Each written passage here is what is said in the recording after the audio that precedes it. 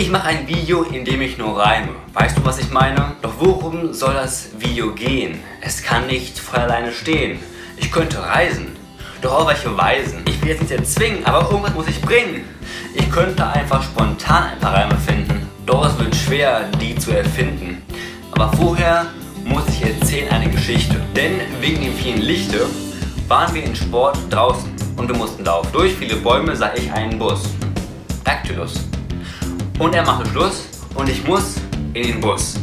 Ich beeilte mich und kam voran, so dass ich noch sitzen kann. Ich ging hinein, doch nein. Ich schaute mich um. War ich wirklich so dumm? Oh Schreck, oh Graus. Ich ging hinaus. Es war nicht meiner. Bin Lateiner. Äh, ihr habt gerade gewonnen. Ihr seid auch nicht zerronnen.